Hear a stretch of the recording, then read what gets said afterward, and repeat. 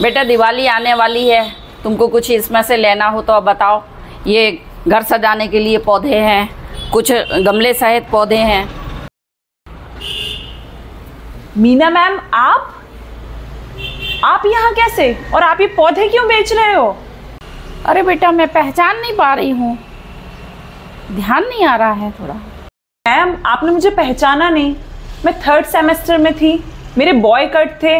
और आप मुझे हमेशा लड़का लड़का बोल के चढ़ाया करते थे। और आप हमको केमिस्ट्री पढ़ाया करती थी। आप भूल गए क्या? अच्छा बॉयकट वाली। निधि? अरे अब याद आया मुझे।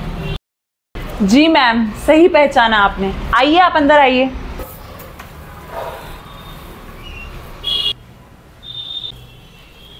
जी मैम पानी। धन्यवाद बेटे। कैसी है मैम आप? ठीक हूँ बेटे। कितने दिन बाद मिली मैम आप? लेकिन मैम मुझे एक बात समझ नहीं आ रही। है आप ये पौधे क्यों बेच रहे हो? बेटा मैं रिटायर हो गई हूँ। मेरे पास समय रहता है तो टाइम पास के लिए मैं ये काम कर लेती हूँ। मैम आपकी तो पेंशन भी आती होगी। तो फिर आप ये सब क्यों कर रहे हैं? मुझे समझ में नहीं आ रहा है। कुछ बात हो तो आप मुझे बता दीजिए। नहीं नहीं। अरे ऐसी कोई बात नहीं। बस टाइम पास के लिए कर रही हूँ। मैम आपके तो दो बेटे भी हैं ना? मतलब वो आपको अलाउ कर देते हैं ये सब काम करने के लिए? वो तो बेटा अब मैं चलती हूँ बेटे। प्लीज़ रुकिए आप। अगर कोई बात हो तो आप मुझे बता दीजिए। मुझे लग रहा है कि आप बहुत परेशान हैं। बेटा तुम बच्चों के बारे में पूछ रही थी ना? अब वो बच्चे कहाँ रहे? वो तो बड़े हो गए हैं। बेटा, बच्चों को बड़ा करने में पेरेंट्स कितनी तकलीफ़ देखते हैं। हर परेशानियाँ सहते हैं। फिर भी अपने बच्चों का सुख देखते हैं कि उनको किसमें अच्छा लगेगा। लेकिन जब बच्चे बड़े हो जाते हैं तो पेरेंट्स को भूल जाते हैं, उनका ध्यान नहीं रखते हैं।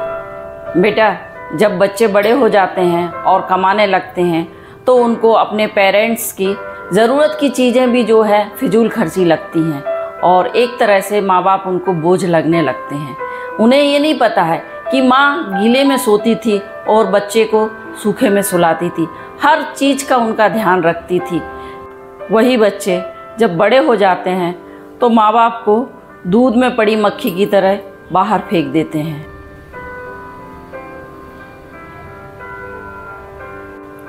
अरे बेटा, दोनों बेटों ने हमें सामान की तरह बांट दिया। छः महीने एक के यहाँ रहते छः महीने दूसरे के यहाँ रहते। और जब हम बीमार हुए तो हमको घर से बाहर निकाल दिया।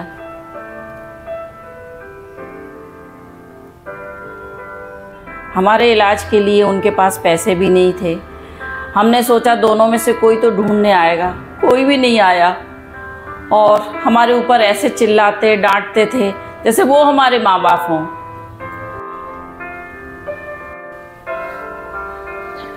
लेकिन मैम मुझे एक बात समझ नहीं आ रही है कि आप बच्चों को पढ़ा भी तो सकते हो ना? फिर ये काम? हम ऐसी जगह रहते हैं जहाँ बच्चों को पेरेंट्स पढ़ा ही नहीं सकते हैं। इतने सक्षम नहीं हैं। मैम आपके फ्लावर कितने के होंगे? फाइव हंड्रेड के। तो मैम इनके मैं सारे पैसे आपको दे दूँगी। और आज शाम से ही आपको मेरे बच्चों को पढ़ाने के लिए आना पड़ेगा। और मैं आसपास के बच्चों को पढ़ाने का भी उनके पेरेंट्स से बात कर लूँगी। तो आप पढ़ाएँगे ना मैम प्लीज़ मैम हाँ बेटा। बिल्कुल ठीक है।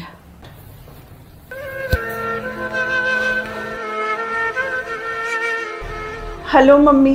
कैसे हो आप? मैं अच्छी हूँ बेटा। मम्मी मैं आपकी अच्छी बेटी तो हूँ ना। अरे दुनिया की सबसे अच्छी बेटी है मेरी तू। ऐसा क्यों बेटा? तुम तो शादी के बाद भी मेरा इतना ध्यान रखती है मेरा केयर करती है। फिर आज ऐसी बातें क्यों कर रही हो? मम्मी आपको कभी भी लगे कि मैं आपकी केयर नहीं कर पा रही हूँ आपका ध्यान नहीं दे पा रही हूँ तो मुझे आप डांट देना। अपने फ़र्ज़ कभी मत भूलने देना। हाँ बेटा मैं ध्यान रखूँगी और तुम भी अपना ध्यान रखो और खुश रहो। ठीक है मम्मी। बाय बाय बेटा। आजकल बच्चे अपने पेरेंट्स को बोझ समझते हैं और उनको घर से बाहर निकाल देते हैं या वृद्धाश्रम भेज देते हैं जबकि बच्चों को पेरेंट्स कितनी कठिनाई देखकर बड़ा करते हैं और सोचते हैं कि बुढ़ापे में हमारा सहारा बनेंगे। लेकिन आजकल ऐसा नहीं होता है। माँ बाप से बढ़कर कोई नहीं हो सकता है, ये हमें समझना चाहिए। उनको हमेशा सम्मान और आदर देना चाहिए। उनकी हर ख्वाहिश को पूरा करना हमारा फ़र्ज़ होता है। वीडियो पसंद आया है तो लाइक और सब्सक्राइब करिए। धन्यवाद।